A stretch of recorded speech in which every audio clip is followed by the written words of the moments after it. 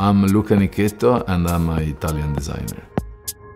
I have two studios. One is in Stockholm and the second one is in Venice. That is where I grew up. Canal Chair is my first project for Moooi. The canal chair is very important for me because it has some characteristic that is coming from the city where my career started. Being from Murano, that is very famous all around the world for the glass, the environment around me was really, you know, to see a drawing become an object was kind of normal. And with my classmate during the summertime, we prepare a folder full of drawings, knocking the door of 10, 20 different factories to try to sell these drawings to the factory and to have some coins in our pocket to have fun during the summertime. And since that moment, I start to be a designer.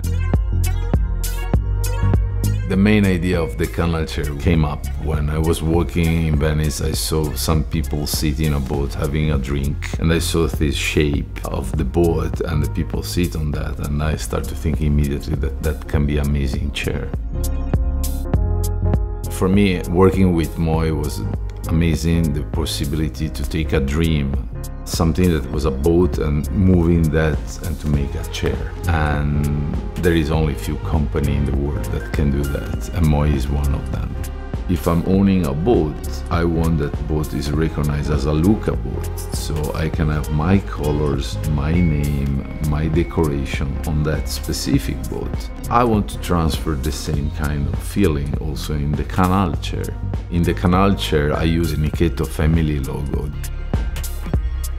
It's not to make everyone to love Nichetto family, but it's just to share something that is part of my personal heritage.